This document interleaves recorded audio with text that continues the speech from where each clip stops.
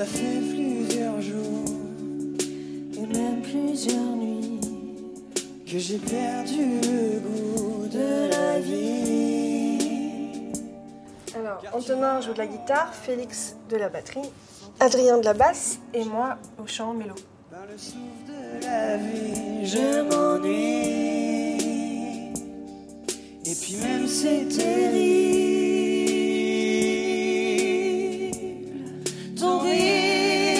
avoir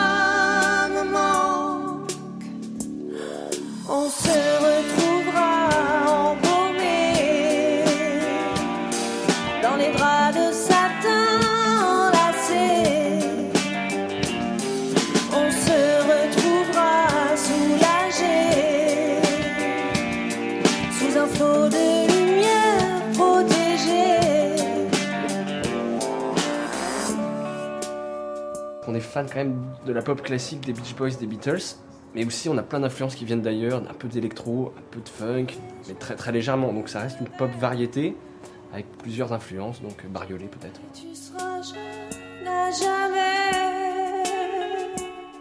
C'est interdit, mais je t'aimerai.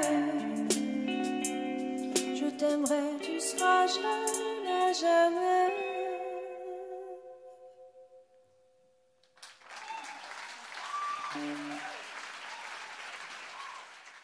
Trouve qu'il y a environ 8 mois, 8-9 mois, je suis venu ici, même au Trois Baudets voir un concert. C'est d'excellents musiciens tous les quatre.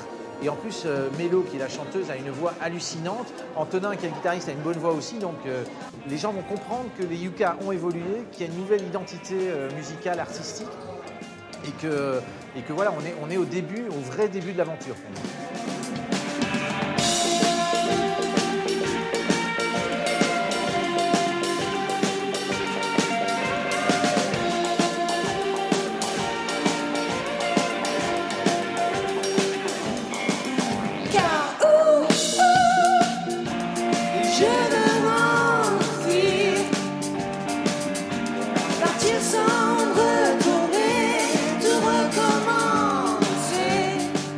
Pour l'écriture des chansons, il y a deux compositeurs à la base. Il y a le père de Mélo euh, et moi.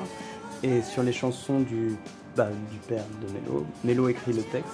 Ouais. Moi j'écris pour euh, mes chansons. Enfin ouais. Paroles et musique, fait les paroles et musique. Et on arrange euh, tous les quatre, on, on répète jusqu'à ce qu'on soit satisfait euh, tous les quatre.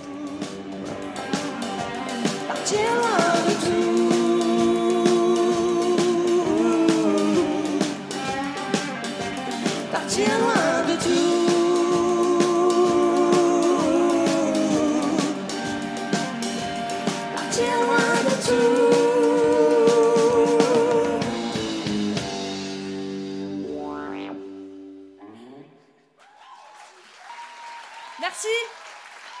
Merci À bientôt. Pour que ça pousse vraiment bien Yuka, faut lui faire des belles petites chansons et ça l'aide à pousser